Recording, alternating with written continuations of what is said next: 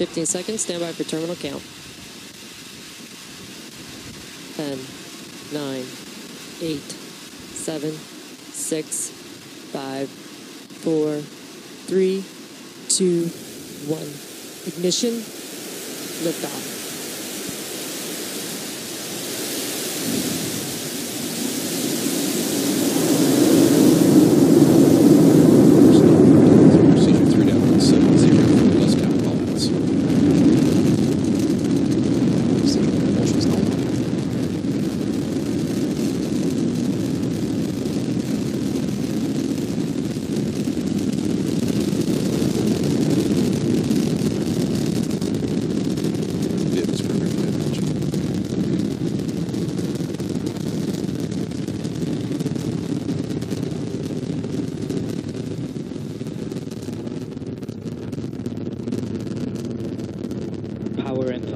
And you see on your screen, we have had successful liftoff of Falcon 9 carrying Zuma.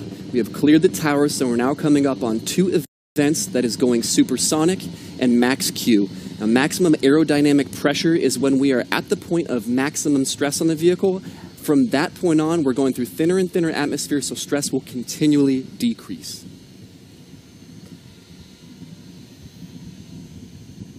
And we've just passed max Q. So again, that means that as we ascend higher and higher, the atmosphere is thinner and we do not need to have as much stress on the vehicle. Now, we're going to go through four events here in rapid succession, and those are in order MECO, stage separation, SES1, and the boostback burn. Now, MECO stands for main engine cutoff. That's when the first stage stops firing. There follows stage separation when first and second stage depart from each other. SES1 is the third event that stands for second engine start. That's when second stage begins firing. And then the fourth event in that sequence is the boostback burn. That's when first stage begins firing again to start its trajectory back to landing zone one. Now, that sequence will occur at about 15 seconds in duration, starting about 15 seconds from now. Oh, seven, this is RC on countdown. Please, the relinquish control of the camera, please. Roger.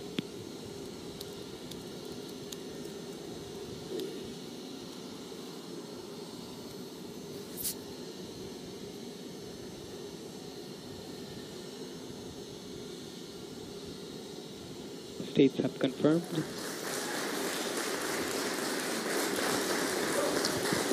Stage one has entered its flip.